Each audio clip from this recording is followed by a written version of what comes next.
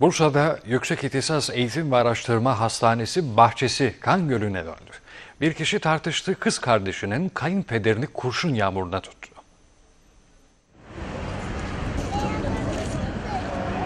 Aralarında husumet vardı. Hastanenin kafeteryasında karşılaşıp tartışmaya başladılar. Çevredekiler silah sesleriyle şoke oldu. Olay Bursa Yüksek İhtisas Eğitim ve Araştırma Hastanesi bahçesinde meydana geldi. Tarafların yakınlarının da dahil olduğu kavgada bir kişi kız kardeşinin kayınpederine kurşun yağdırdı.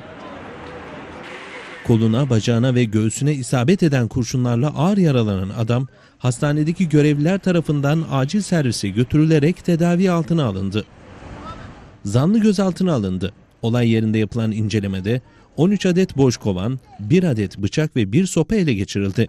Olayla ilgili soruşturma başlatıldı.